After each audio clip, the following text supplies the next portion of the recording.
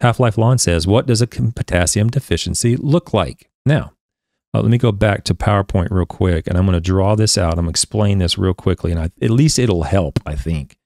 Okay, so let me pull this up, and I'm going to describe and draw out exactly what a potassium deficiency looked like. What I'm looking at here is a photograph I put on the on the members community tab of some Bermuda grass. Now, on this photograph, I'm looking at for those listening. I'm I'm looking at a photograph of some Bermuda grass that I was growing in in South Florida. And you see these long runners of Bermuda grass where you see a long stolon or a long runner, and then it has a node here where there's a little root going. Actually, that might even be the root right there going down. And then you'll see it branch off and another runner go out from there. Okay, this is all very common. You guys have seen this a thousand times. So what I'm what I'm what I'm want people draw people's attention to is this node right here, where there's a there's a stem coming off of it, going directly up uh, on the north or straight up on the picture. Now, this when when the when that leaf goes out, when that stem goes out, it's going to put us it's going to put a runner out, and then it's going to put a leaf out, which is this first leaf right here. Okay, then it's going to put another. Then that that shoot is going to go straight out, and it's going to put another leaf out right here. This is the second leaf. And then it goes up. This is the third leaf. It goes up. This is the fourth leaf. This is the fifth leaf. This right here is the sixth leaf. And then look right inside here, the, the inside the sheath, inside the, the, the highest leaf here, there's another tiny little leaf coming out of the point. That's the next leaf in order. Okay. So let me, so that's the way that grasses grow. There's a, there's a shoot that comes out and then a leaf comes off and then another leaf comes up for the, through that leaf and then it goes off to the side and so forth. Okay.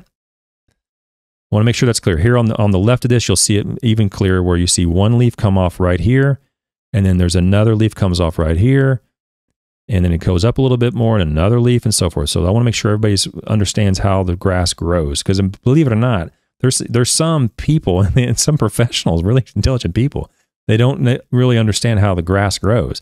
There's a there's a root and a, and a stolon in the ground right over here, and then this long runner goes out and then it puts out another root, and then a long runner goes out and it puts out another root. And each one of these is an individual plant. If you cut this off and you cut it off here, the plant in the middle is still going to live, okay?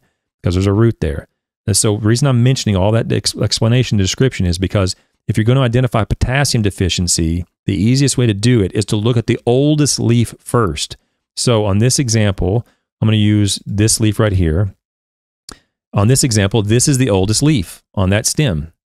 If that leaf is solid green, and the next leaf up here, whoops, the next leaf up here, uh-oh, lose my, lose my mind here. The next leaf up here is the same color, it's solid green.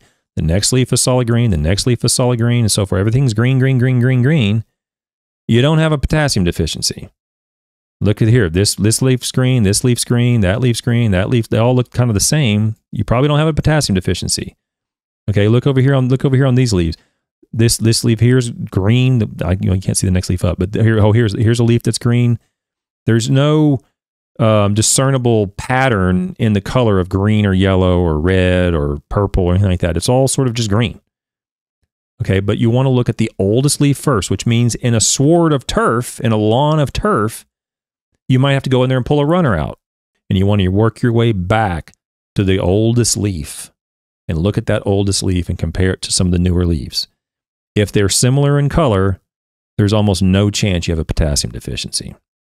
Okay. The reason for that is, is that potassium is mobile in the plant. And when the new leaf comes out, it, de- it demands nutrients and it's going to pull nutrients where it can. And it's going to take that from older leaves, translocate that potassium from the older leaves, and it's going to translate it that into the newer leaves where the demand is greatest for potassium. Okay. As opposed to something like iron, where iron is not movable in the plant. You're not going to see iron deficient on the older leaves first. You're going to see iron deficient on the newest leaves first because when where there's a great demand for iron, it's trying it would it would prefer to pull it from the older leaves, but it can't. So the newer leaves end up being deficient in iron. But potassium, it can remove it from the older leaves, and so it does, and the, and the deficiency occurs on the oldest leaves first. And when you have a potassium deficiency, you can you can bet the farm that it's going to be that way on damn near every stem. Every oldest leaf is going to have a deficiency that's clear.